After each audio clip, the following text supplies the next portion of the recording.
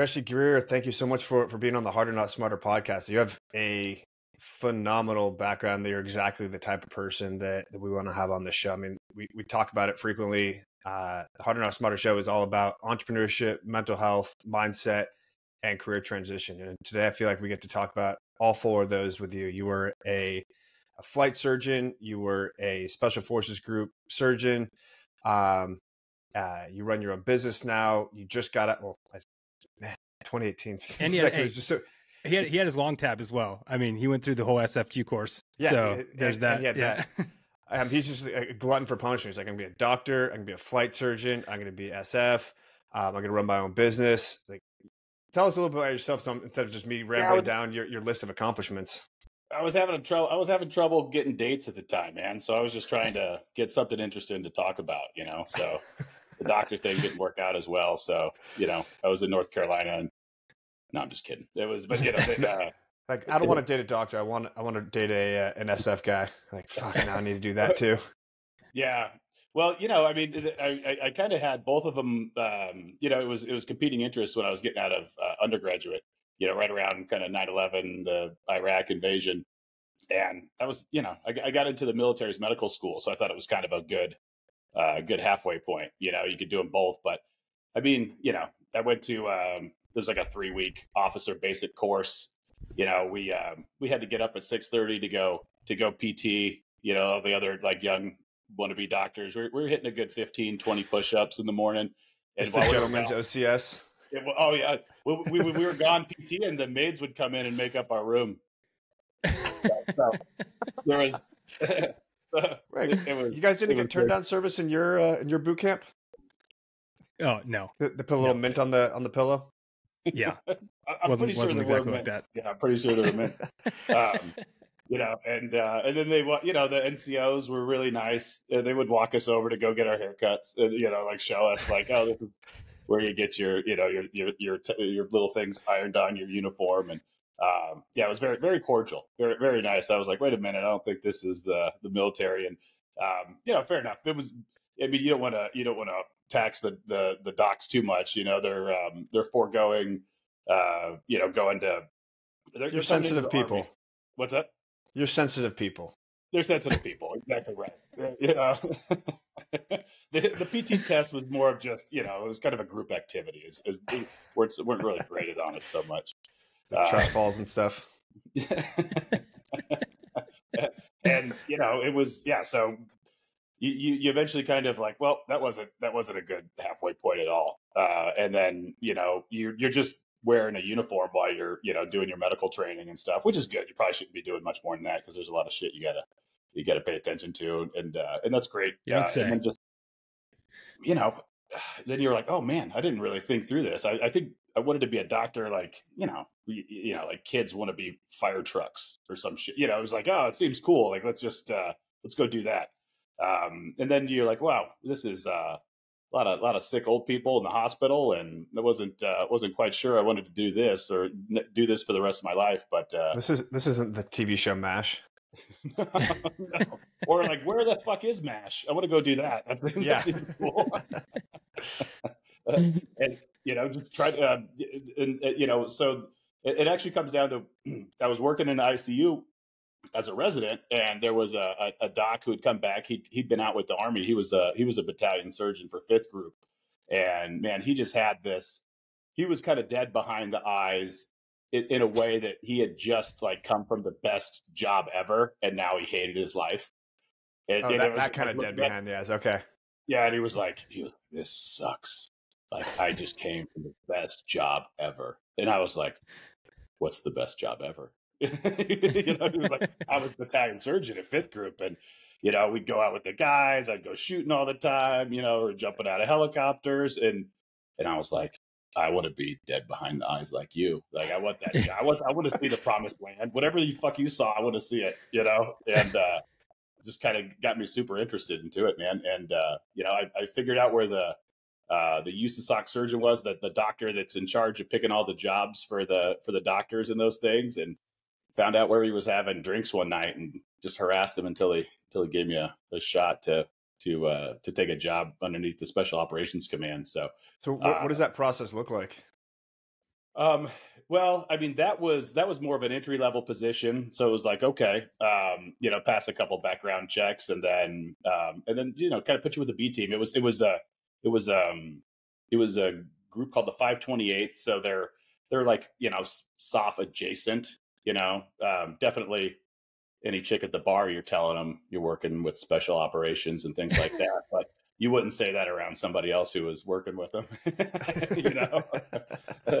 um, but you know, we got we would get we, we we had some pretty cool gigs though. We had a it was a most of it was a signal unit, but they had this small medical attachment, and it was one doc, like a trauma nurse. We'd have a CRNA and four or five combat medics, and all of our medics were folks who had been going through the Delta, the the Special Forces pipeline, and then somehow kind of ended up outside of it. Uh, so they were great medics, so we would get attached with ODAs, the the the twelve man special forces teams, and and uh, uh, you know Central Africa or Afghanistan, and and and it was pretty cool. We'd get to go, you know, attach to those guys, go out in the middle of nowhere, and provide some non surgical but still life sustaining support pretty far forward. So cool training, cool stuff, and I was like, hell yeah, this is this is a lot more my speed. Uh, and then you know just got a uh, an opportunity. The the USASOC sock surgeon was like, hey, I was just talking with the uh, whoever the the commanding general was at the time, and I got this this cool program opened up where we can send a doctor through once a year uh, through the Q course. Would you want to do it? You know, I think it caught me while I was drinking coffee out of a straw, like a like my dad told me not to when I was young, and uh, um, I didn't want to seem like a like a wuss, you know. Um, and, and I was just like, yeah, and, and, then he was like, "Okay, great. You know, you're you're number fourth on the list. You know." So I was like, "Well, there's no way they'll they'll get to me." Uh, but you know, doctors apparently aren't very good at land nav, or uh, you know, they tend to tend to break their legs through the through, the, uh, through selection. And uh, sure as shit, four months later, got a call. You know, good thing I was running in between and got a chance to do selection and um, managed to pass that by the skin of my teeth. And then yeah, it took a year and a half off and went through the Q course. How, how was, was that like going through you? as a? Yeah, let's, let's talk. Let's talk land. Let's talk land nav. Let's talk land nav first, and then we'll talk about going through the course as a. How was it wandering through the uh, the hill? It's North Carolina, right? Yep. Yeah. yeah. Wandering um, through the um, swamps of North Carolina. I, I had a, a, we were in Virginia for for the Marines. We do our land nav up in uh, up in Quantico. So similar stuff. I mean, it's, it's marshy East Coast. Your guys is just a whole lot more swampy, um, and it just it, land nav by yourself is an interesting very meditative experience until you start like all that self self doubt hate talk when there's no one else around you're like what the oh, fuck is this little box that that is real um greg i'm sure you remember the the, the star course pretty well oh, uh, yeah you know i had i had not really ever done land nav I, again I, I think i did i'd done it at like the that officer basic course but again, you know, they give you crayons and and, and, and probably you know like more detailed maps. And there's a find your way across this playground. yeah, somebody with with water halfway on the other end of it to make sure you didn't get dehydrated. Uh, but they they did this really good educational course beforehand. Um, and so, man, I was, or just, you know, like, hey, this is how you do land nav, you know, special. They were priding themselves on, you know, you come in with, with any MOS and they'll show you how to do it. So I was taking notes. Uh, it didn't really help much on the first day you know, I think I was out there for 14 hours and found two points. You know, all the 14 uh, hours. so long. Dude, it's miserable. You start at like 11 o'clock at night and you go until like one o'clock in the afternoon, or you have that long to go. And and most people take the entire time to to find their points, or points not find any at all. Five. Four points a night. Or is, it, four, is it five? I thought I thought so. It was when I when I when I did it. There, I think there was five points, and it's a two day event. So you, if you find all five that first day, then you go home on the fucking winter bus. Um, and if you don't, you you have to find a total of seven with the two days. And and I found two on that first day, and I barely found two. I thought I got I was I was like running into the second point like as the you know as as the time ended. Uh, and man, I had to sleep around. You're right. That gets in your head. And I was sleeping around a bunch of guys, uh, and they were just like, they started talking about like, oh, you know what, man? They, they were coming over and they're like, my, my sister was telling me about like nurse practitioner school. So if this doesn't work out, you know, maybe I'd go do something like that. Or I'm like, I'm like, get your loser ass over there. Like I can't, my head can't deal with this. I'm trying to sort out my own shit. I don't need to hear you feeling sorry for yourself. You Due know? course, nurse practitioner. Uh, I was like, what? no, go. Like I'm trying. I, I can only deal with my own headspace right now. Yeah, and then and then just got lucky enough on the on the next day. Uh, a luckier draw or something. Kept out of the swamp. You know, didn't get stuck in the in the draws for for hours. Mm-hmm. Past it. Yeah. That's my fa- that was my favorite part about land nav is like in the middle. So I was I was a 18 X-ray, so that means I had I got through I had to go through the special operations preparation and conditioning course, which is like it's basically when you're when you're going off of the streets. It's, it gives you like three more weeks to like work out, and you're also doing land nav at Camp mm. Mackall, which is where Yep. the star course is at. You're not doing land nav on the star course, but you're doing it like you know in the same areas, so you have a leg up for sure. So I I by the time I was there, I was like ready to go with land nav. My favorite part about land nav though was like to be walking through a draw in the middle of the night and just like hear somebody absolutely just losing their shit, like just like like wanting like screaming like oh fuck. It was it was the most entertaining thing, and just to like hear that was like the most motivating thing at the time. Just like oh hell yeah, like this person's struggling so hard, and What is and it about our community that we just love the the the misery of our friends and colleagues? We're like, as long as you're Oh. not like da- dying in a ditch someplace, we'll laugh at you. You eat shit and fall into a swamp face first. If if if So you I don't know whatever else, it's the funniest thing in the world. We just appreciate everyone else's misery while we're miserable. Yeah. But it's just a good reminder that there's just somebody out there a little worse off than you. So like, yeah. Yeah. oh yeah. I, I, I had a I had a new hatred for beavers. Like when, when I when I I'm from California, we don't have beavers out here.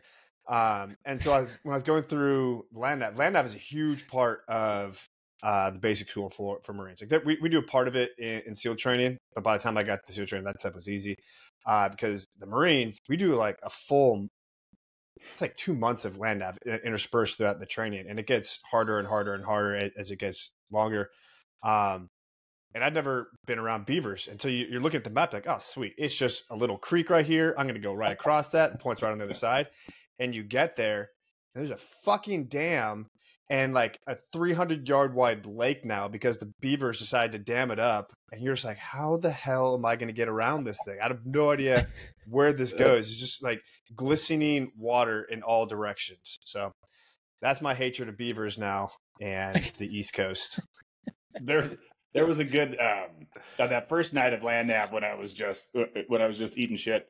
Um, man, I got stuck in these in these trees. It must have been for a good hour and a half. You know, like you got your your ruck on, and and you and I was I was locked in there. I was like, there's no way out. You know, you can't turn on your damn headlamp headlamp, and there's you know, um, there's cadre out there spotting. I was like, there's no way there's anyone around here. You know, so like uh but of course that's exactly where all the the rookies get stuck and so there was sure as shit somebody was was standing by there so i was like fuck this i turn my headlamp on i start looking around trying to get out of here and i hear hey hey candidate like whose light is that so i turn turned it off and then it just you know and then it just goes still right i was like oh you Yeah. probably probably can't see me and i hear the footsteps and the footsteps getting closer and he's like what the fuck are you doing? It, I mean, 20 feet away, I didn't even know there was another dude there.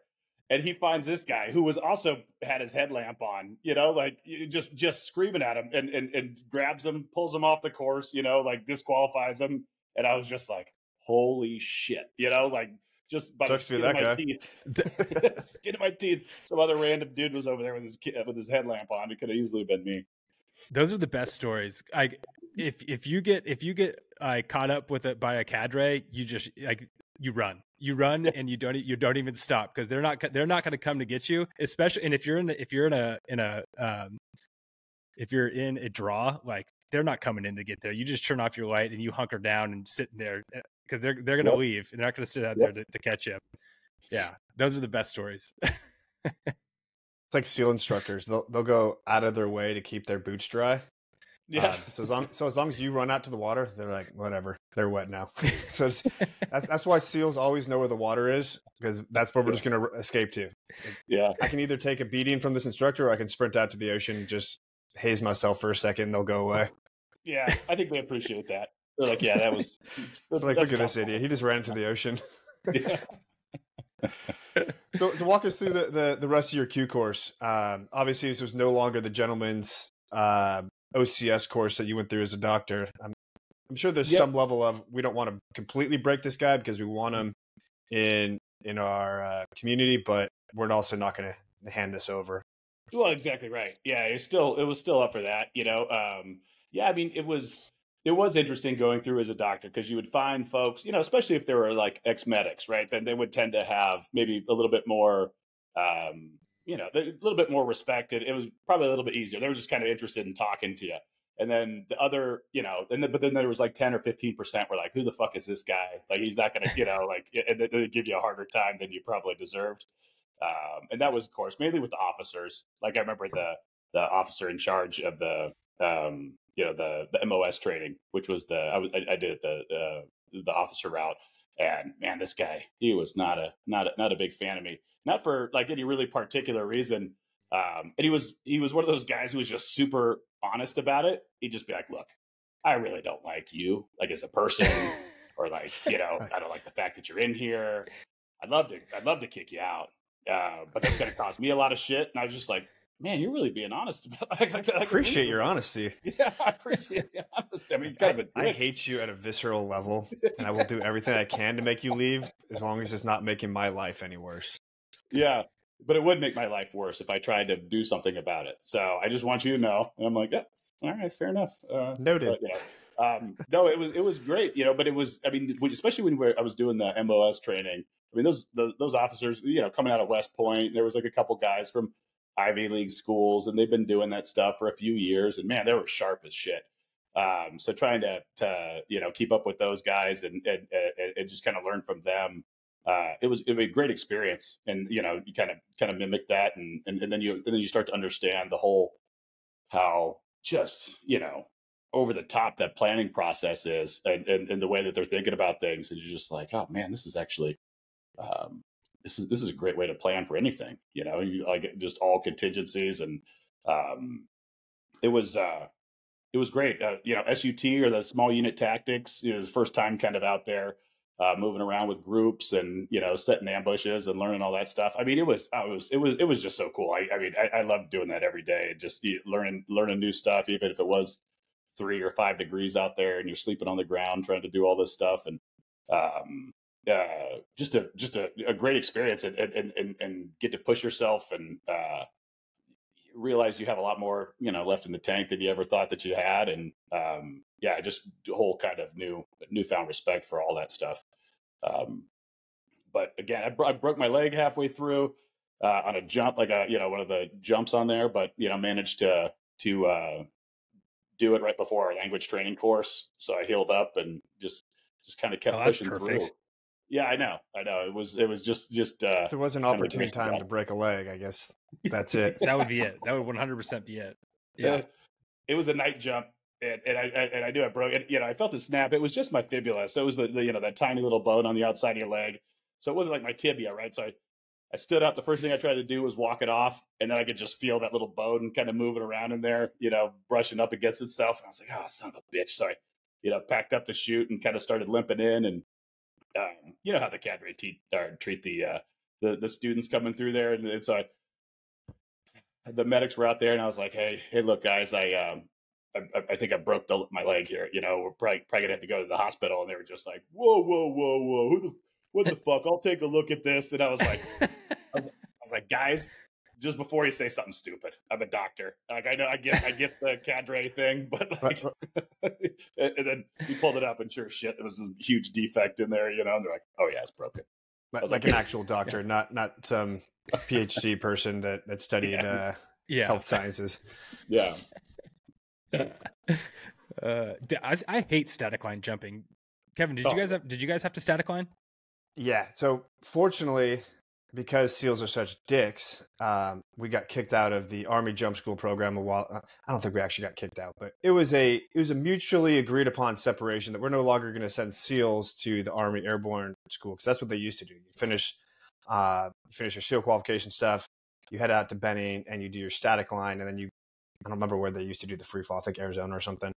Uh, but you know, you, you're taking a bunch of cocky seals that just finished arguably one of the hardest training uh, curriculums in, in the world, and then you're going to send them to Fort Benning with like basic level airborne infantry guys that are just starting off. You know, these guys have been in the military for all of a couple months.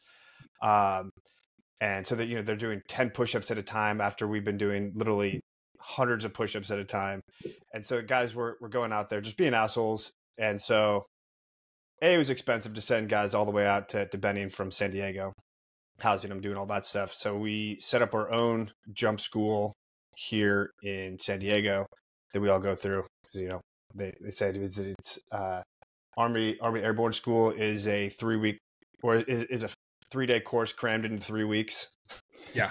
You know, Yeah, 100%. super drawn out to do the five jumps needed to qual. So we knock that whole thing out in, in the span of a week, and then we do our free fall training right after. Nice. Oh, Yeah, so you guys all dude. do free fall. Yeah, yeah. So we do, we do our five mandatory jumps to get our our static line qual, uh, and then we very very rarely do it again outside of doing like a, a water jump with with um, our boats and stuff like that. Just because you know it's usually frowned upon to uh, be doing free fall with uh, with large objects in the sky. So uh, we'll occasionally do free fall, but most of the time it's uh, when we when we're jumping with boats into the water, it's uh, it's gonna be static. Yeah, that's the way to do it. Instead of every, That- I hate. every quarter. Let me just Static line reiterate. sucks. Static line Water is the jumps worst are- thing ever. it's cool if you jump into the water because you don't have to worry about that that shitty landing. The downside is the post jump maintenance of water jumps is a huge pain in the ass because they don't they don't just deep six the the chutes. Those things are expensive, and so unless it's an actual operational jump, we're going to collect all the chutes, carry them back, bring them to the uh, the airloft, do the the three different water bucket rinses, hang them up, and you're doing that with you know, 30, 40 chutes it takes all day to do one jump. So that part really sucks. But it is That cool was nice thing. In seventh group, we they, they started we, we started doing water jumps out there, you know, because we were right on Mhm. the on the beach out there in, in, in Destin, Florida. That was nice. The water is so blue, but you could also get a good view of all the sharks that were kind of down there in the shallows beforehand. You know, uh, I I don't know if I've ever kind of admitted this, but you're just you know you get out there, you're in the. I, I would I would tend to kind of put the chute underneath me, just you know, just waiting, you know, for the for the boats to kind of come around. You know, just there's some monsters bite, out bite there. this stuff instead. Oh yeah. we actually just had a, a shark attack here in Del Mar uh, yesterday, two days ago. Some dude got a, a group of swimmers that go out and they, you know they swim every morning. yeah, Dude got bit across the chest, had a had a sucking chest wound from it. Lived apparently, but yeah, we, we have the the juvenile great whites out here, uh, which they don't. They're not doing it because they're necessarily going to eat you, but they're trying to figure out what you are. They don't Yeah. really like humans, uh, so they they do those uh, those tasty tasting bites where they just bite the shit out of you, let you bleed out as they're like, nah, that was gross, and swim away. yeah. The little Assholes. Costco samplers out there swimming. Like, nah. Yeah. yeah. So yeah, we we get them occasionally, not very often. We haven't had one for for several years, but you're just like, man, that that's a shit. Yeah, it was on Sunday. That's right. Because we're like, man, that's a shitty way to start your your Sunday. Just getting bit across the chest by a six foot great white. I would have been thinking. I would have been waiting the entire swim for that to happen. You know, so it's just like the whole stress of it, and then and then it just it happens there at the end. Yeah. Well, welcome to Buds. Every every ocean swim, especially when you're Has doing anybody- surf tortures. Has anybody ever been bitten by a shark at Buds? I don't think so. Uh, we were getting surf tortured one time, and a half-eaten seal upper torso was just like floating amongst us. It was disconcerting and gross. We also have the Tijuana estuary. Um, when when the tides go the wrong way, like a polite word for the toilet runoff. Or yeah, I mean, yeah, it's 100 percent Mexican toilet water. It's Mexican to- toilet water that sometimes flows north. Uh, Bud- Buds is seven miles from. No, it's probably more like ten miles from the border. Um, and so yeah, you, you get that runoff, and it it just reeks. God damn it, we're sitting out here, and your your legs are all chafed up. You have open abrasion wounds all over you. This is not safe. yeah, probably a lot more skin infections than shark bites. Yeah, yeah, significantly more. It's Yeah. great. Buds is great for the soul. It is. I, mean, it has to be right. There, there, there's those those amount of times that you you you you push yourself so hard, you know, harder than you ever have. You know, it. it I mean, it kind of makes you realize that you're kind of being a, a, a pussy all the years before. You know. Yeah. You're complaining with you. You know. You're like, oh no, I, I had a lot more in the tank. Kind Through of and through. for old me now. I need to be reminded that now. Like it's all it's all relative. Like you get in Yeah. these like especially now that you're out, like it's like, oh, like this is really nice. Like I think I'll start having cream with my coffee and I'll start, you know, pinkies out when I'm drinking it as well. And then I'm like, Hey, wow. knock cream in the coffee. I love milk in my coffee. Anybody that says otherwise, they're just. I drink my coffee. I drink my coffee black, like my soul, It's- Kevin. it's fine. um, It's like it's like that line about farts. Like if you don't find farts funny, you're just going through life with the same number of farts but a whole lot less humor. I, okay, I'll buy that. I'll buy that. It's the same with, with coffee. Like if you drink black coffee, you're having the same cups of coffee. You're just not enjoying them as much as somebody that puts a little bit of cream in there. Or milk. Touche. What about the n- n- no almond milk though? That's that's nut juice. Or, yeah, are we sure? Are we It's sure not that's milk. not creating a bunch of problems? what milk or nut juice? Just, yeah, nut juice. I don't know. I mean, nut juice is a whole separate issue. Like that's that's driving. I think half of the water in California is going to almond farms. It's something Really? stupid. I don't- actually half. That number is not quantified. Anybody who's actually fact checking me, it's a it's a huge percentage though of uh, California's water is going to almonds because almonds apparently go for so so much at the store that it's just one of those crops that it pays to, to grow 'em. but the There's a almond. ga- it's a gallon of water per almond. Are you serious? the- Yikes. But the the amount of almond almond milk consumption and like the crazy inflection of just like macro events, I think they're they, might be pretty correlated. I, I, I, I don't know if anybody's ever looked into that, but Macro, Yeah. like what? Like yeah, JFK you know, getting just, uh, assassinated? I mean, you know, uh, uh, gender dysphoria or, or the Oh, that type of stuff. Macro governments, uh, you know, or, or World War Three approaching. I don't know anything. Like uh, just, there's some, you know, teen girl suicide rate, something. They're all they're all inflecting right around uh, 2012 when uh, almond milk started getting big. I don't know. It's- just yeah, you know, somebody look into it. I- just Yeah, I think there's there's somebody that's Someone on the show this take a look podcast at it. right now. Yeah, just go someone someone go do a conduct a study for us and get back to us on that one. I'm not going trying to to be to get you too should.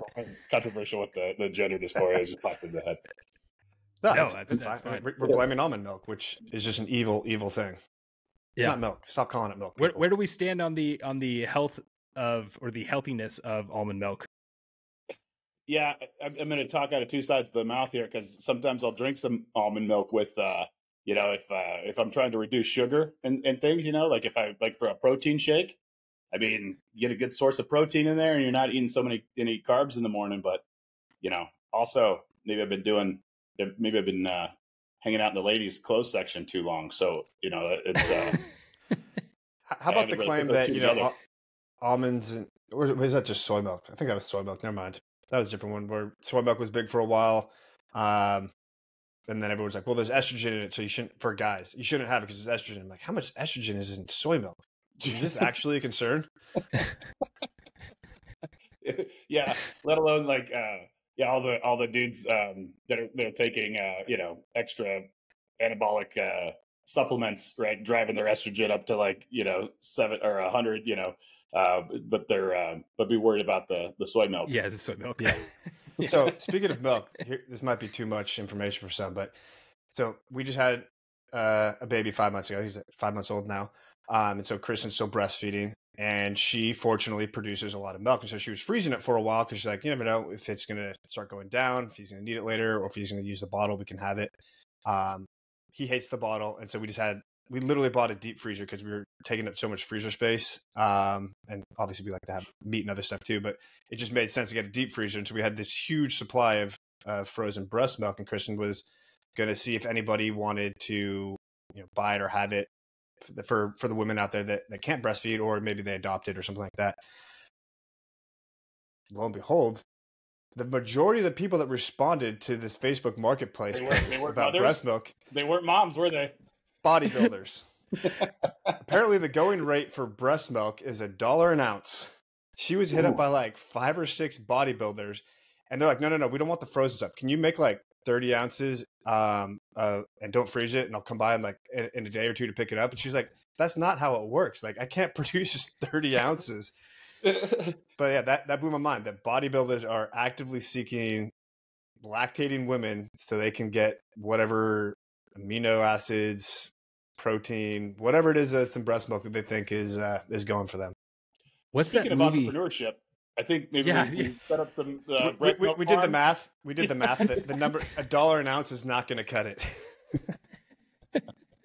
Uh, You, Yeah. you need to set up like a uh, uh, uh, post pregnancy dairy farm um, to to make any kind of ends meet. Like that that'd be a whole slew of things. I don't know if the FDA would be on board with you well, no, we have to milking a bunch of. offshore. Maybe Central America. Uh, I mean, we uh, have, we have know, Mexico right across the border, so maybe we Yeah, can we do got that. Mexico. Who's the where, where's the what's the Central American country that's uh, like official uh, currency is Bitcoin?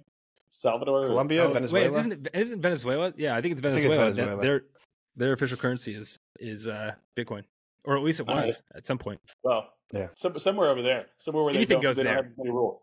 Yeah, Yeah, yeah, we'll talk about that later. Anything Anybody else interested? Yeah. yeah. Anybody uh, want to? Well, speaking of the entrepreneurship side, if anybody wants a business plan, we'll just like Elon Musk open up his patents. I'll open up this business idea to you. Feel free to take it, run with it. Let me know how it goes. I'll be an investor, maybe. Yeah. Me too. I mean, dollar an ounce. So Uh. take it, take jumping back to the uh, Oh yeah. the the the soft side, the SF side. How was it being now that you made it through Q course and you had a broken leg, you, you went through the language stuff, um, you're you're long tabbed. How does that translate into your, your career? Because obviously you're a surgeon first. Mhm. Now you have this tab. What what is what access does that give you? What privileges? Um, where does that direct your career? Yeah, you know, um, so immediately from there, I went and took a, a battalion surgeon slot um, over at Seven Special Forces Group, and you know, I mean, you, yeah, you definitely don't need a, a, long tab to go over there and be the doctor. I mean, you know, I think half the um, half the guys respect you for for just being the, an MD and, and, and you're speaking on your subject matter. But no matter what, you know, there's there's going to be a good chunk of the guys. Maybe it's 25 percent, but they're they're not going to respect you if you can't, you know, run as fast as them or do as many push-ups. You know, you're um, you're still kind of a a guy wearing a maroon hat, usually a little bit soft around the midsection. Um, so I mean, it helped with with um, with credibility. You know, getting being able to to talk with guys. It, it helped on deployments um, instead of you know necessarily getting stuck in the in the operations center. You know, back in in, in Bagram, being able to to um, kind of put those skills to use of being able to uh, go out with the guys and and, and, and do stuff. You just a, a lot more trust from that side of things. And, and to be honest, I didn't really take my career much further than that. I mean, I remember that guy being dead behind the eyes. And so right right when my job was over, they were starting to, you know, look at me for, you know, early promotion to lieutenant colonel and getting dusting a, a nice metal desk off back at Bragg for me to go sit in, you know, the middle of nowhere. And it just happened that my time was up the seven years that I owed the army. So I was like, you know, against my mom's better wishes, you know, six more years and it's retirement. You know, a lot of a lot of people would love a pension like that, Jesse. Is, don't know why is your mom mom- a New York Jew? I was adopted, yeah, by a New York Jewish lady. Um, so it's getting a little, a little bit weird from that. Um, but yeah, so she was not not happy, but I was ready to get out. And, and uh, yeah, I don't Full know. disclosure, I'm Jewish. I have a lot of Jewish people in the family. It's how they talk. It's hilarious. No, I, yeah, no, I love it. That's just what my default uh, my default voice is an old Jewish lady. Uh, I mean, that's, it's valid. but yeah, I mean, I think it just helped from the, um, uh, you know, I mean, credibility standpoint. They, you know, they're more likely to invite you to go shooting, more likely to invite you to to go do this, and you know, that's I think just being part of the group and is um, is key to you know that that um, that respect that everybody has for each other. Why somebody would listen to you and, and just just kind of while they'll come talk to you, you know, because people the people that you want to come talk to are the ones that are le- least likely to talk to anybody at those at those moments, and and and so um, I, I, you just have to think that it kind of helped from that standpoint. It helped me at least understand what I was doing, right, and and and and and helped me understand um, the guys that I was working with because you know they start coming to you with problems, and and and you know you realize, I mean, most of the guys, you know, young studs, it, it's not hard to keep those young studly dudes in, in, in, good shape or in good spirits, right? They're they're they're driving themselves, and and you're not doing anything magical, um, you know. But it's the guys who've been doing that shit for ten years, fifteen years. Uh, bodies getting beat up, and and and uh, and and they no nobody's good at asking for help. I don't care if you're like a, a soft guy, just the typical man in general, right? Uh, so if you know if you're a little bit more relatable, um, a little bit more likely to open up to you. And it just really kind of helps with the with the with the peppering of any type of mindset stuff that you can give them and and and, and walking them along the path. Uh, I think I, I think it helped immensely from that. It really helped kind of drive. I mean, that's that's really what I fell in love with was those those guys that, that you know we were sending them for all these experimental treatments, and some of them were okay, you know, but they were pretty temporary, you know, for a lot of the um, you know a lot of the PTSD stuff or guys with a lot of this heightened anxiety. Uh, you know, we'd send them for some of these, you know, nerve stimulations or these, you know, new types of injections. And did they work? Oh, you know, yeah, I kind of got some relief. So no, I didn't get anything, or you know, it worked for two or three months. But man, there was just so much stuff going on underneath the hood, and and just kind of a lot of work that needed to be done. So to to build those types of relationship where you could kind of um, where, where you get them to trust you, come back, talk to you, keep working on those, uh, keep working on whatever it is that you need to. I think that was that was that was key. So when when you got out, you had this idea to to set up uh, the business supporting mental health and, and general health of you don't, you don't work specifically with, with veterans and service members, right? It's, it's a pretty broad audience, but that's just one one segment of of your customer base. Yeah, uh, yeah, for sure. I mean, it's definitely more of like um, a, a, a, a like if we were going to have a social impact, it's definitely based around veterans. That's for sure. Mm-hmm. Okay. Uh, and I mean, and then the entire program that we do was really based off of those guys. You know, the guys that you get the the phone calls on late at night. You know, the the the E sixes, E sevens that you kind of throw in the in the back office because they're having a hard time, they're struggling. You know, and none of those other experimental things that we were working on. Uh, we're, we're really doing much to move the needle. And so that's where I really just kind of dig what what is what's going on with these guys? What is it? You know, and I was listening to this Joe Rogan podcast. Um, there was a guy on there, his name's Mark Gordon, and he was talking about these traumatic brain injuries really disrupting the hormonal axis in the brain. And that just really resonated with me. I was like, hell yeah, that makes a lot of sense. A lot of the, you know, the breachers, just the the the big impacts, and whether you're getting hit by, you know, IEDs or uh, mortars, or you're breaching doors, or just, you know, crashes, rollovers, all the stuff that we're exposed to. And, you know, sure shit, we, you know, we had our own little lab there. We would draw their blood. Their inflammatory markers were, were going crazy. Their hormones were in the dumpster.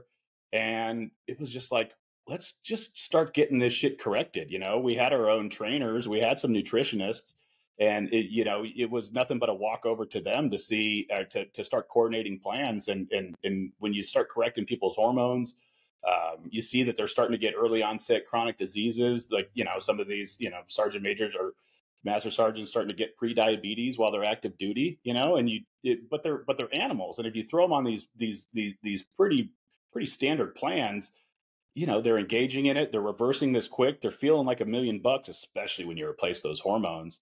And we were just getting amazing results, and you're like, oh, okay, this is great, this is awesome. Um, like now we're doing shit, and yeah, Great.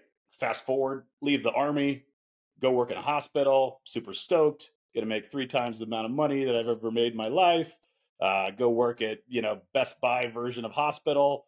Uh, and then you just go in there and it's just the same shit, just the same people with the same skin infections, the same, you know, pancreatitis, the same uh, pneumonias. Um, you know, treat them as quick as you can, get them out to the street, and then I'd see them a week later uh, just you know rearranging deck chairs on the Titanic. And man, I was there for two weeks, and I was like, nope, this is this is horrible. This I don't know what the hell this is, but I am not going to be doing this.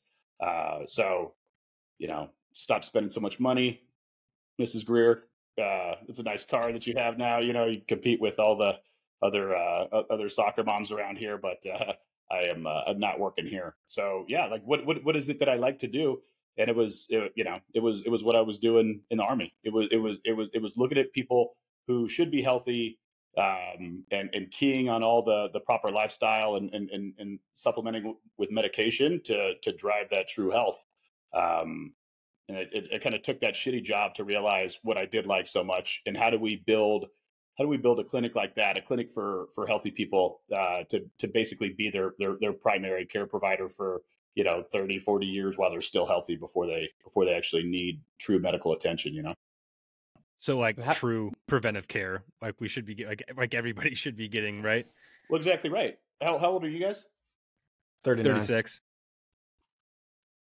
that's right. So i mean you know if you if we did a if we did something called a calcium score just a quick ct scan look inside look at look at your heart and see if there's old plaque yeah, see if there's plaque in there right it should be zero in both of you guys you know?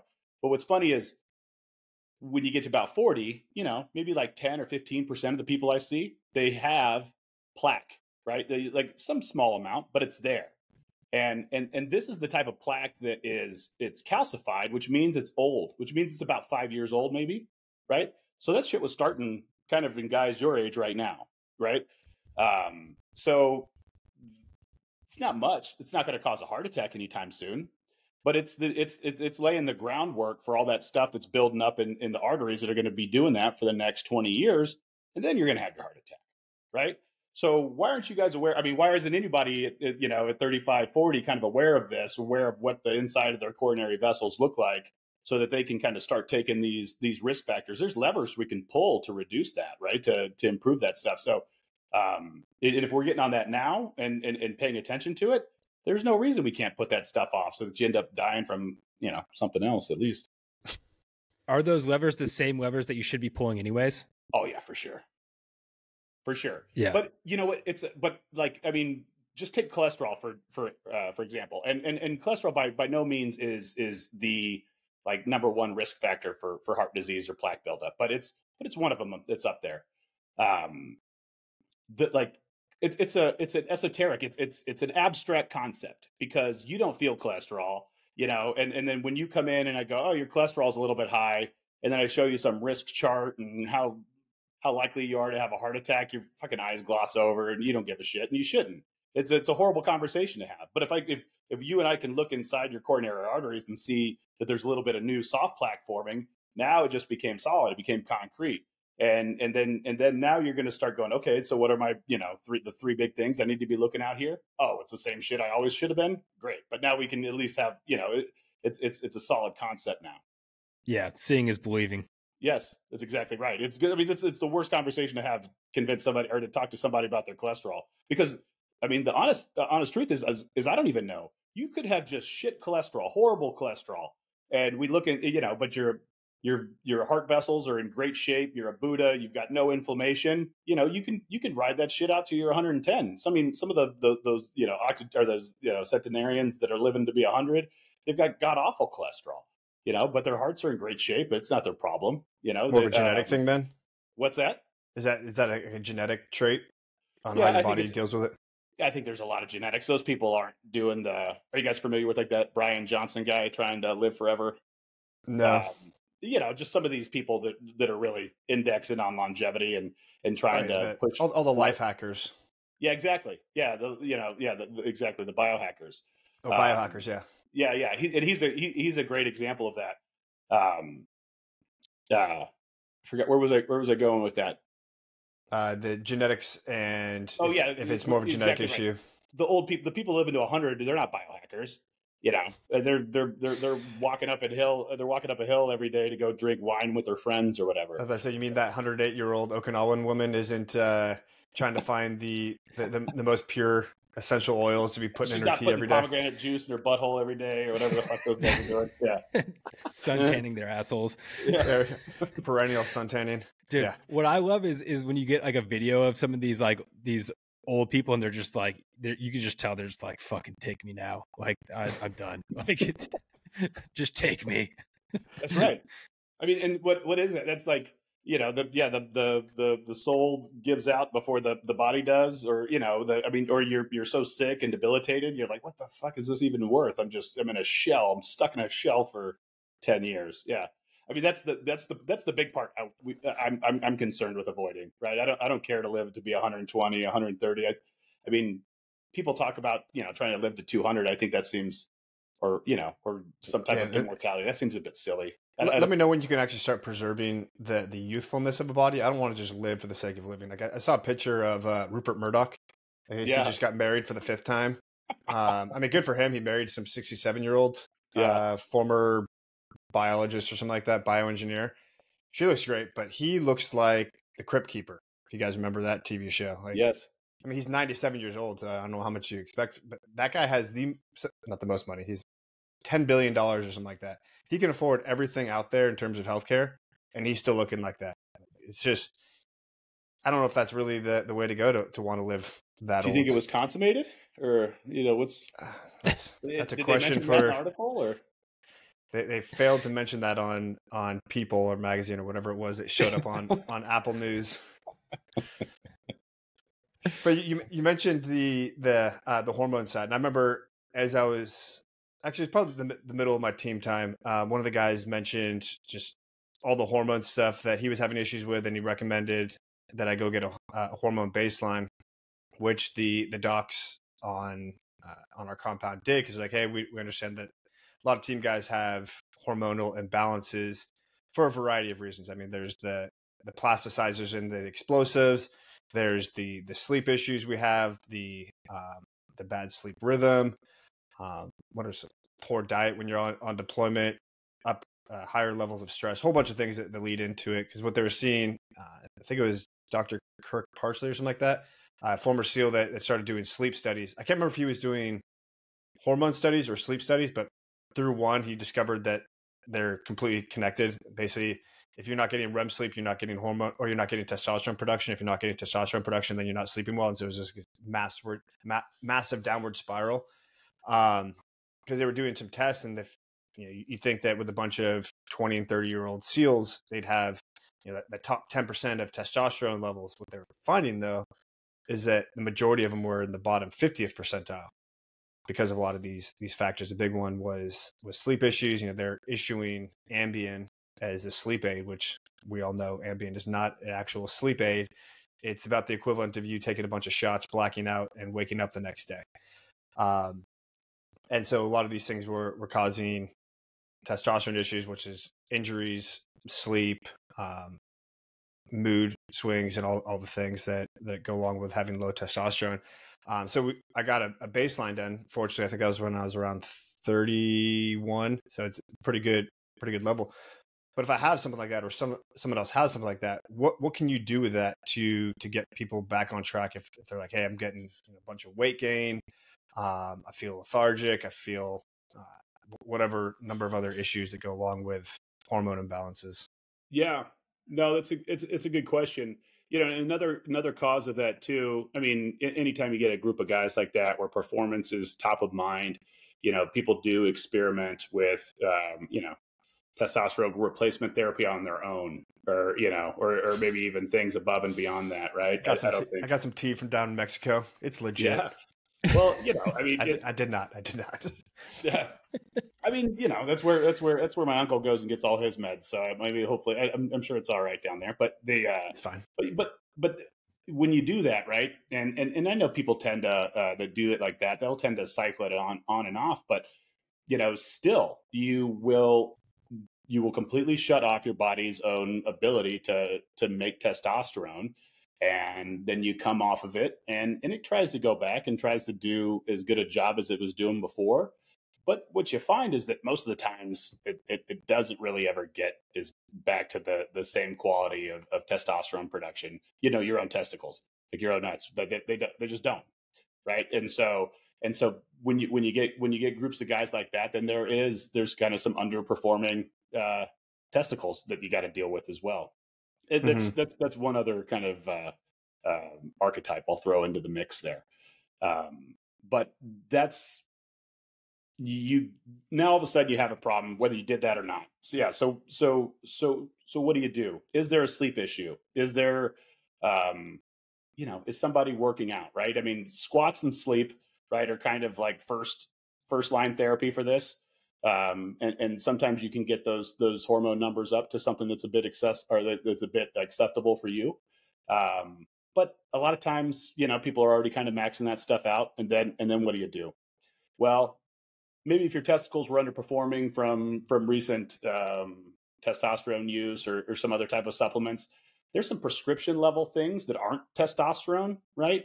Um, people will take things like like Clomid or or HCG to try to kind of boost some natural testosterone production out of their testicles. That's more of a temporary solution. Sometimes they increase the, your total testosterone. That'll, that'll like for a, a, a amount of time that'll stick around quite a bit after that. But a lot of times it kind of goes away when you stop taking those, and those aren't things that you take for life. Those would be medicines that we would give people if they're really focused on preserving fertility. They're still having kids, right? They still want to have mm-hmm. kids with their family, so you got to be pretty careful. Like, you got to be careful for that. Uh, there's a there's a, a, few types of therapies that um, you guys heard of peptides. Um, yep. Yep. Yeah. So there's there's some peptides that, that people will go to before they'll go uh, to TRT to try to boost natural um, natural testosterone production.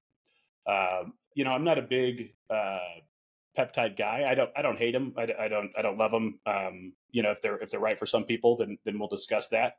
Uh, but that that'd be the other that'd be the other uh, angle, and then and then you know, and then testosterone replacement therapy uh, would be kind of that that that final line, and and sometimes you can tell you're just delaying the inevitable, you know, and it's just like, well, you know, we're um, it's going to be something that you're probably going to be on for for quite a while, you know. Um, when do you come off of it? That that's that's the that's the discussion part that that sometimes gets a little bit bleak. I don't, like I don't know, probably till you get prostate cancer, uh, or or you're 70 or 80 and then uh, and then like can you imagine though you're like you're feeling viral or virile and and, and vigorous with your testosterone and then at 75 and then you're like all right let's take it off and then you just you just wither away I'm like i don't want i don't want that scenario but but also i don't want to live the next 30 or 40 years you know just crying after fucking uh, car commercials or whatever also, I think the name of this episode is going to have to be Squats and Sleep. Squats and Sleep. Oh, I like that. I'm going to put it in there right now so don't forget. Squats and Sleep. With, with your, I imagine a lot of the stuff you, you guys are doing is creating holistic life game plans. It's not just here's a prescription or here's PT. It's all right. We're gonna we're gonna isolate some th- certain things. You know, we're to work on your sleep first. We're to work on your diet. We're to work on your your fitness and are you are you actually working out? Are you working out effectively? How how do you develop this game plan with your clients? Yeah, that's a good point. I mean, it should be it should be individualized. That's for sure. And you have to you have to get somebody's honest starting point where they're at. And and so that just means kind of a, you know, a real nice comprehensive look at all the stuff that's important. And there's so much stuff out there to look at you can really get bogged down in all the noise. So I think it's it's important to be able to draw that that signal out, but also take a, a, comprehensive look. So we, we start with a big big kind of what we'll call like a next gen executive physical, um, kind of a shitty name, but it gets people thinking what we're what we're what we're thinking. Um, but yeah, extensive blood work. We like to do uh, body scans. Uh, either we'll use we'll use something simple like an InBody, but we really enjoy getting getting DEXA scans on people so we can get a real good look at the muscle mass, fat, fat content, bone health.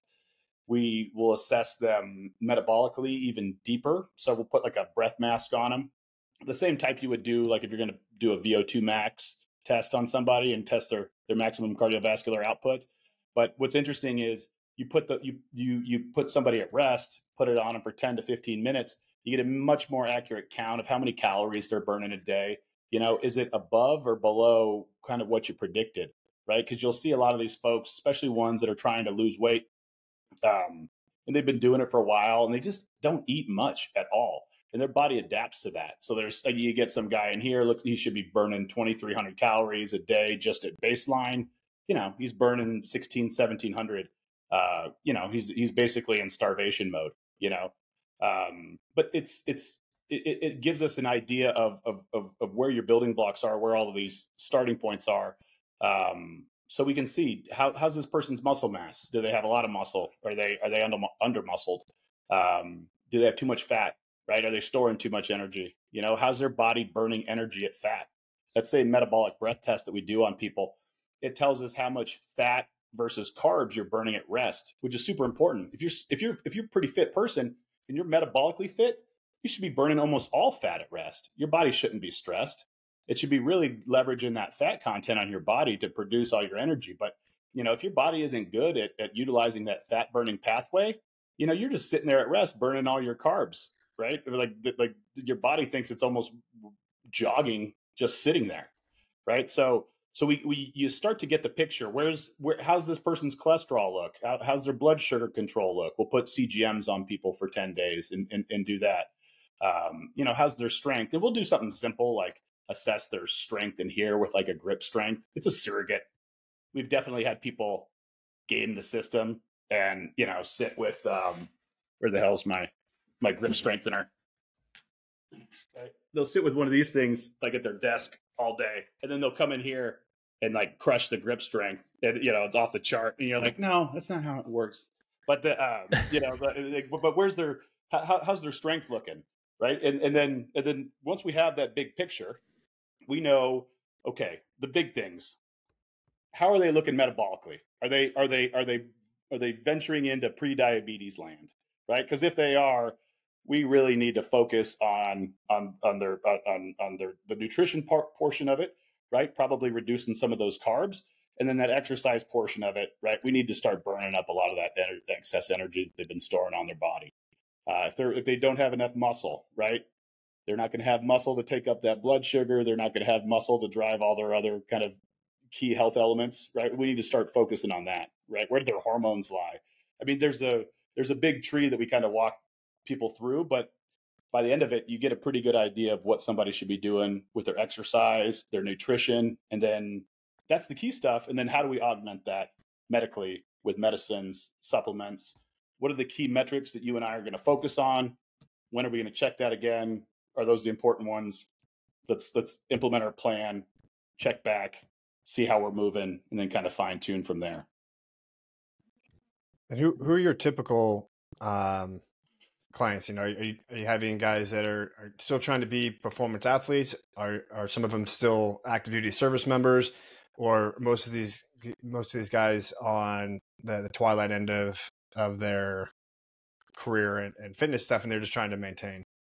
We get we get quite a few. Um, we get we get we get a big range. So we do get the folks that are you know in their the younger generation is way more focused on their health. So you'll actually I'll, we'll get a lot of, uh, of of folks in their early 30s in great shape, doing all the right stuff, and they just kind of want to come in and and make sure that their blood work looks good. We also do a lot of one-time tests on people to help exp- like just to help identify a lot uh, some static risks, like just some some risks that exist in your genetics. Right? Do you do you have a high risk mutation that uh, it needs to change your cancer screening uh, strategy right um, is there is there do you have any any high risk genes that put you at a, um, a higher disposition for for dementia right or for or, or for heart disease right? Because that'll change kind of how we how we treat this. So we'll get those as well.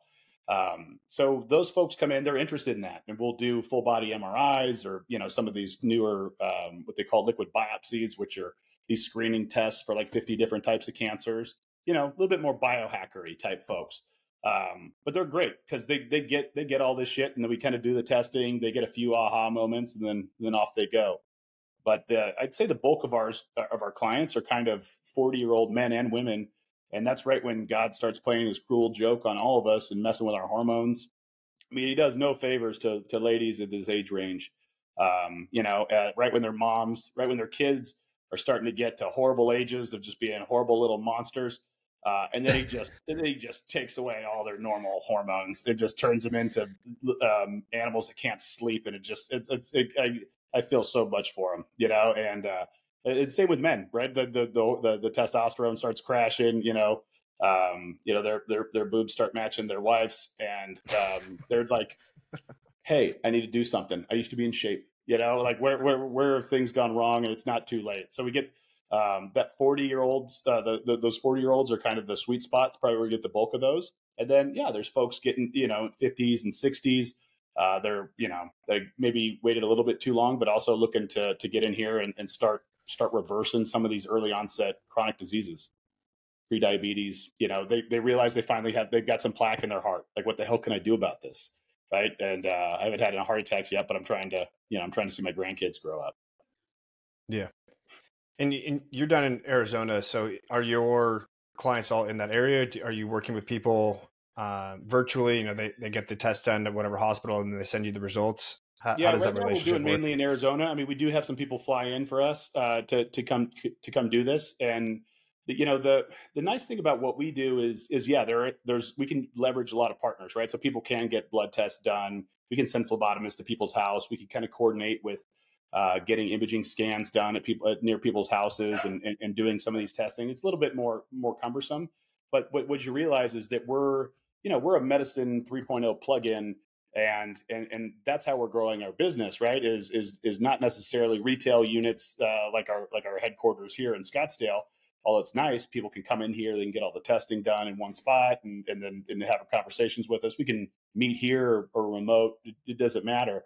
Um, but if you you don't actually need this office I, I need a space where people get healthy and stay healthy so, you know, we've been partnering with gyms where we'll go and set up some some some small spaces there, 500 square feet, um, and it, and it's great because they come in, they get all their diagnostics, they get their big workup with us, they'll get some plans, and then they're able to go out into the gym with their trainers or their performance coaches, who are kind of the the the, the ground soldiers for the day to day implementation of what we're trying to do.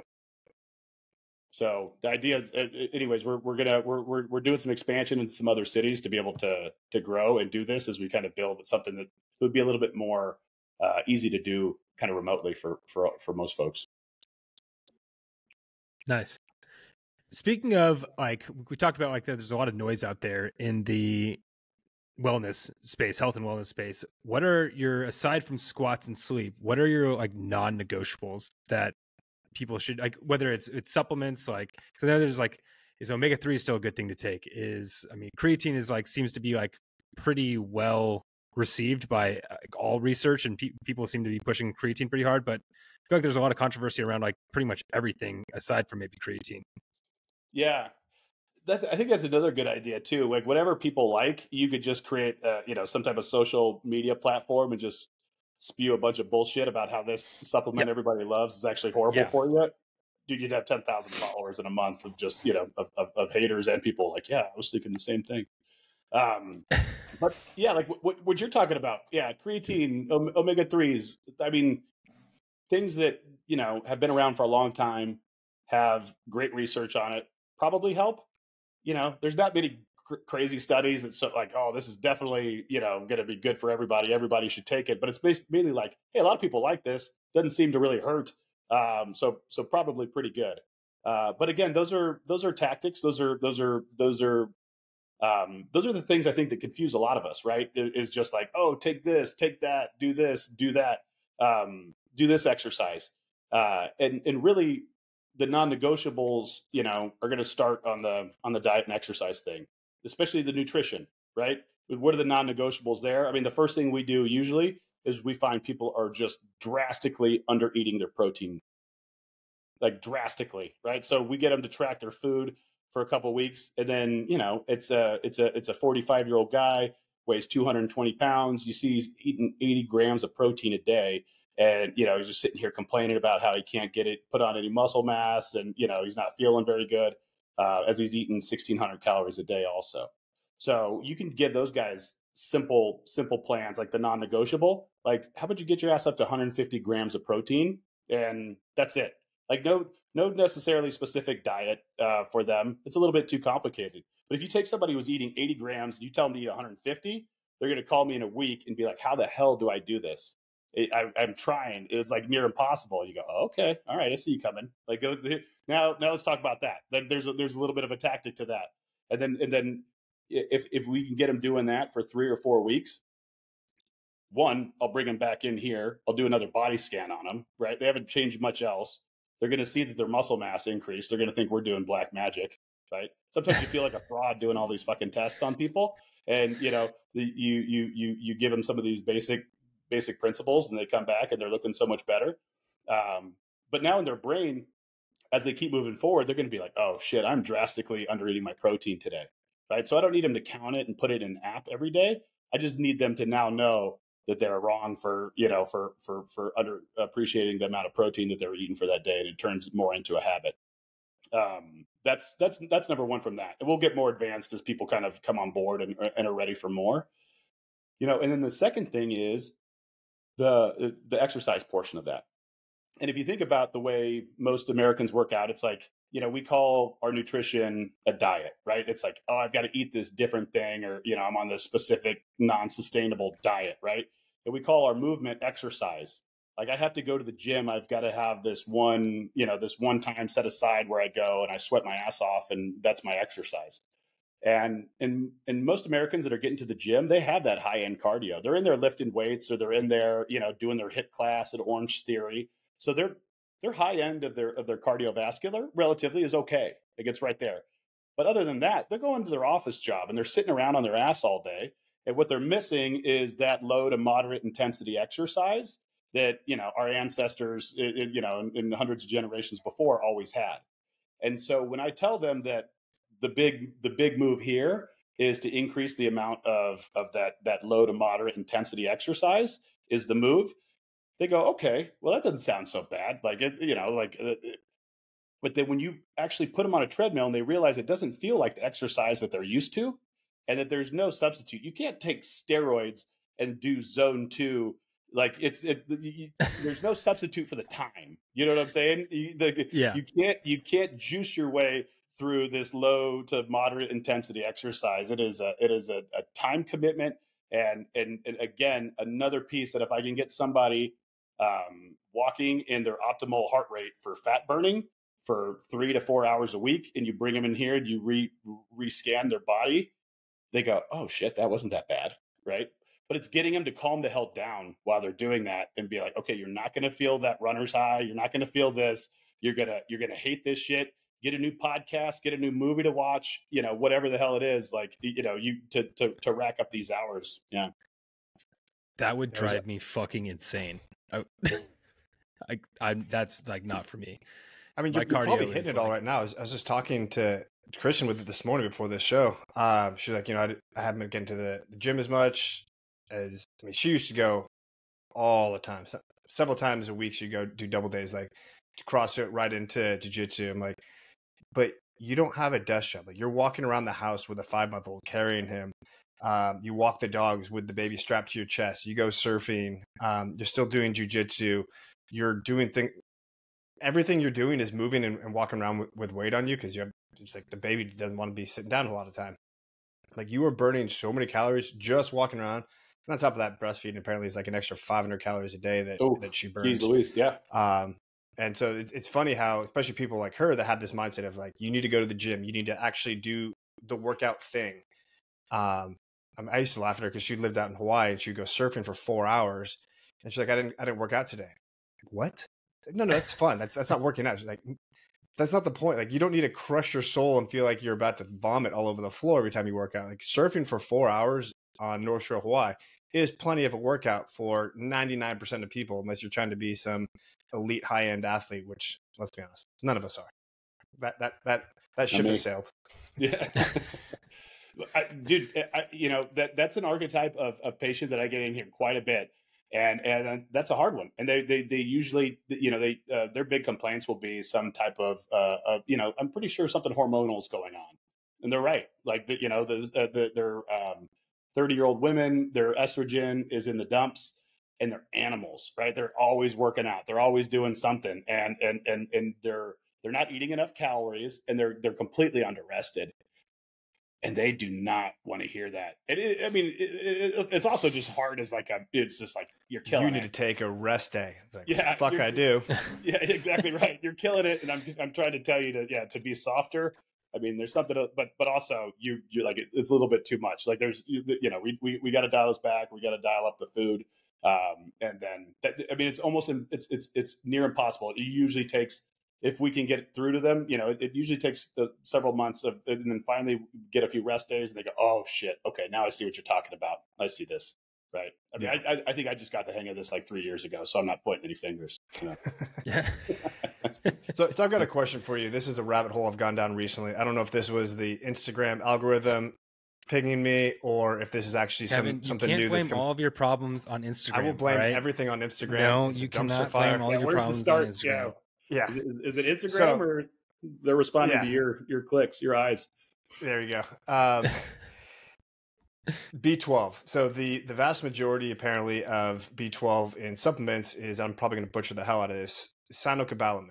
Yeah. Um, which the the hit on this now is apparently this stuff is cultured from sewage sludge. Um, so like all all the um, the sewage treatment plants, they skim it off the top and they can um, very cheaply source cyanocobalamin, which is one form of B12. There's all these doctors going around be like, look at your energy drinks.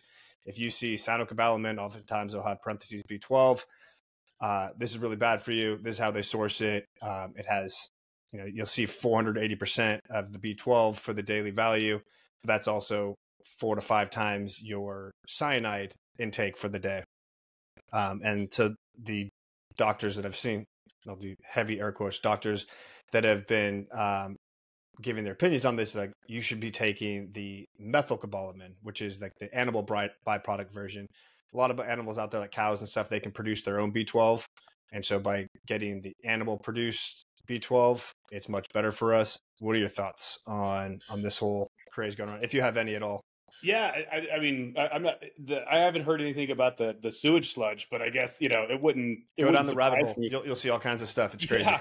No, I mean, it, I mean, come on, the regulation around you know supplementations and who can make it and how you make it. I mean, they're they're, they're not very robust. So nothing would surprise me on the the and that's something we always have to be careful careful about, right? Is the quality of of where these supplements come from because uh, yeah, next to our, uh, our, our breast milk plantation, we'll also put our, our, our bathtub meth slash supplement business, right? Um, bathtub meth, yeah. um, but but for sure, um, yeah, the methyl B twelve is, is, is something that that I uh, am, am, am very like adamant about that. That's what our, our patients are taking, and and usually it's it's in response to the an inflammatory marker, a, a, a byproduct of you know, fructose and, and, and other crap that we eat called homocysteine. And it's an inflammatory marker. It's, it's highly associated with increased risk for dementia and heart disease. Uh, and, and, it, and, and usually in males, it's, it's, it's a little bit through the roof. And you, the, the, the prescription for that is usually B12 and, and just your typical B12 isn't really going to cut it. But if you start with, you give, if you give somebody methyl B12, I see that shit just plummet, right? Plummet down to, to, yeah. to normal levels. So that's the only thing I, I recommend for, for our folks is, is I ordered some of that off, off Amazon. It was like yep. 12 bucks or something for 240 daily tablets. Oh. And I, have I've definitely noticed uh, a difference in, in, the week that I've been taking it. Because I, I was always doing that. Like, should I have another cup of coffee? Should I have, I like the monster rehabs. They're, they're my little uh, vice that, that I've had for you know 10 years. I don't have yeah. a lot of them. I'll have, you know, half of one once a week or something like that. Uh, but yeah, it's something to help pick me up at, in the latter half of the day. You know, the the five hour energy drink mantra. Never have three thirty again or two thirty, whatever it was. Uh, but since I've had the, the B twelve, I've noticed it. I feel more consistent. I don't have crashes and stuff like that. So I was, I was, I'm not sure if that's a placebo effect, if that was mm-hmm. actually it working, but I've I've seemed to notice it's it's been beneficial, and and I don't I don't know if that's necessarily any better than you know B12 that you can get from a a B12 shot, which again, a lot of them that I've seen are the the cyano B12 or Sino Cabal. Yeah, if you're B12 deficient and you give somebody a, a, a nice slug of, of, B12, especially in a shot form, right? People do get a, a, big boost of energy from that. People put those in the the IV drips and things like that. So if you're deficient in those, yeah, I used to notice a, a nice energy boost from those five hour energy drinks. You know, I, mm-hmm. I'd have my uh, family send me those on deployment, and it would be nice. Oh, they were great. Yeah, they're great. You know, but I, I, I think I think I got caught up on my B twelve supplementation maybe after a couple weeks, and then you know stopped stopped uh, noticing the effect of those. But um, but yeah, no, that's a great one, and and and, and creatine is another good one too, right? Uh, like when people start kind of dialing this in there, and we're talking about the fine tuning, not so much the big the big blocks that we're solving for. Then then mm-hmm. yeah, then there's a, a, a plenty of room for creatine um, people working out a lot. The other big one that that I just throw people on most of the time is is, is some form of, of magnesium supplementation because we tend to all be deficient in magnesium, and especially if you're moving a lot, and it's almost impossible to overdose on it. And Isn't that the one that gives you the shits though? If you eat, if you have too that? much of it, doesn't that give you the shits if you have too much of it? Oh yeah, there's definitely some magnesium supplementations. That that's the, that's basically what they do is is yeah, just get just kind of flush you out, you know. So which maybe you know, be careful with it then. If you have to go someplace wearing white pants, maybe don't have the magnesium. Yeah, I don't know. You remember remember those Fiber One bars? Oh yeah, I dude, tried those to things ran this. right through me. Whoa. Ran right through me. Yeah, I'm pretty sure they gave me stretch marks around my butt. The one of those ones. Yeah. Sorry. Uh, No, please. That's that is a great descriptor. I have not heard that before. Uh, gra- graphic. I'm I'm trying not to picture it. Accurate. Uh, uh, Uh, So go, going forward, you know, with, with your your business, where do you see what what is your goal of what you want it to become? Um, what are you trying to expand to over the next couple of years? I know you mentioned some some aspects of digital telehealth involved in it. Yeah, I, I mean, this space is huge. It- you know, it it, it it couldn't have been better uh, timing for me having having done this, kind of fallen in love with uh, the type of medicine we do, and we'll we'll usually refer to it as uh, as medicine 3.0. That's a term kind of popularized by by Peter Attia. Um, but I'll steal the shit out of it because I think it's a great idea because it because it, it it gets us thinking about a new type of medicine, and then that way we get to label current medicine, you know, medicine 2.0, and we get to describe kind of how shitty it is in, in certain aspects, right? I mean, it's great. Like America is the best place to have a heart attack or be in a car accident, right? Because we've mastered the the art of of treating people with diseases and people that have had shit go wrong. But there is no incentive. There never has been uh, for for for figuring out how to keep people alive um, longer and, and and not alive longer, but healthier longer, right? Um, so there there's there's a huge huge movement in this space right now. People becoming aware of how little of attention that they're paying to their their health during those healthy years and how much it actually is going to have an impact on it. And people are starting to get it.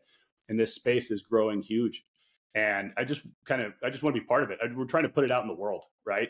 Uh, and there's a lot of folks coming into this space. If if you're, um, I'm obviously probably on top of it because this is my my industry, but um, you know, new new companies coming out every day, you know, trying to do the all digital version, uh, being able to set you up to go get all, all your blood tests and, you know, text with a doctor. You know, a lot of times you, that's their funnel for putting you on whatever sort of prescription or, or, or supplement uh, subscription for their plan. Um, Mhm. You know, it doesn't really have that service layer on top of that. And so what how we differ is we've got that personal relationship with people. So being able to talk with them, anybody can get a lot of these tests and a lot of these images kind of direct to consumer and they tend to have more questions afterwards, right? What the hell does this gene mean? What is this? What am I supposed to do here? They take it to their primary care doctor, whoever their insurance assigned them to. They've got five minutes. They weren't going to do those tests. They didn't order those tests. They're not interested in interpreting them. And even if they were, they probably don't know really how to apply them to you to keep keep you keep you healthy. So acting as that service layer on top of that to really help kind of bring the points home and drive this meaningful change. And we want to put this shit out into the world. So finding light ways that we can attach to places. Um, so preamble, our company, right? How do we attach? How do we how do we put this medicine 3.0 into places that it exists? And that's that's exactly what we're trying to do. So we're working with a, a local gym uh, here, a high end athletic club, to to to be able to to put these in, in places like that.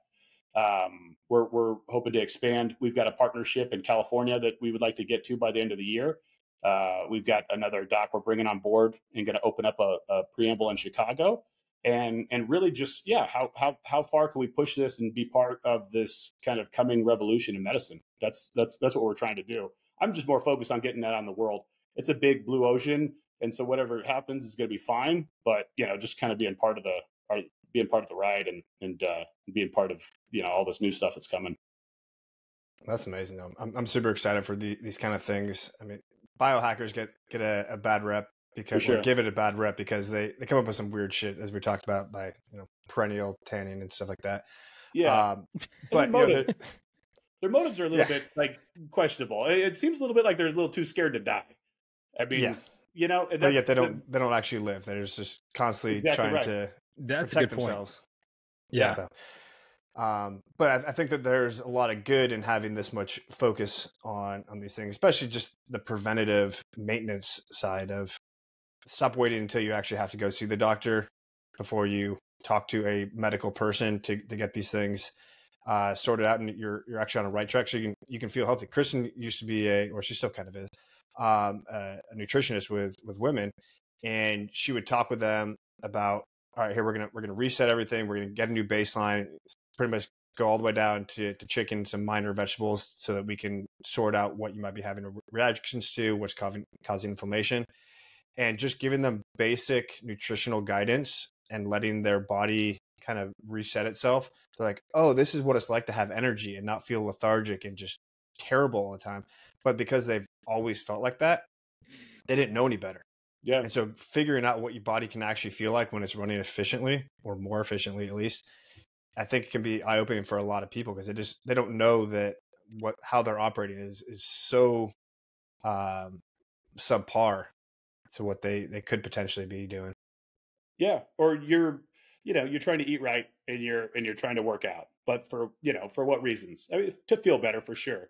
But also Look good naked. You know, to, to be healthier, right? To to to be healthier longer. And you know, so are you sure that what you're doing is, you know, well, yeah, and to, and to get ripped and, and tan, of course. But but is what you're doing is is what you're doing actually kind of getting you to those endpoints, you know? And a lot of us don't have that that that info. What are the endpoints I should give a shit about, anyways? Um, you know, and and and and so if if if you add that into the mix, I think it just it just rounds out the picture, right? Mm-hmm. Um, it's probably gonna not could be too much different, but might as well have those meaningful endpoints and kind of showing yourself that you're getting there and, and, and adjusting as you need. Um, it's we make it a lot more a lot more complicated than it needs to be. That's for sure. That's that's, that's for sure. Simplify sure. everything. Yeah. Actually, Greg, that's what your yeah. post was this morning. Simplify everything. Just gotta simplify it. Yeah. Four wins. Well, four, four wins every day. So Jesse, where, where, can people find you? How can they get in touch with you? Um, what's the the best course for them to start, you know, getting a game plan together with you?